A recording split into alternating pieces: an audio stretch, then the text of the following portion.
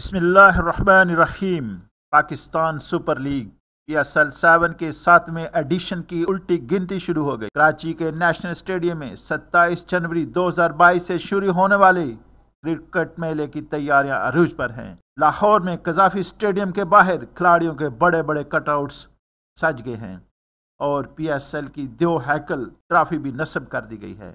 پی S L کی تیاریوں کو حتمی شکل دے کر تشہیری مہم کا باقاعدہ آغاز کر دیا گیا ہے۔ P C B head quarters Qaddafi stadium کے مین گیٹ پر کاؤنٹ ڈاؤن کلاک یعنی الٹی گنتی کی گڑی بھی لگا دی گئی ہے۔ قومی ٹیم کے کپتان اور عظیم بلے باز Babar Azam, fast bowler Shaheen Shah Afridi, wicket keeper اور بلے باز محمد رضوان، سرفراز احمد، شعیب ملک اور حسن علی کے کٹ آؤٹ سج گئے ہیں۔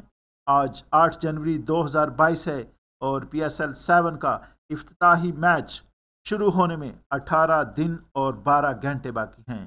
Let's warmly welcome the great day of twenty seven January دو ہزار بائیس۔ تھینکس۔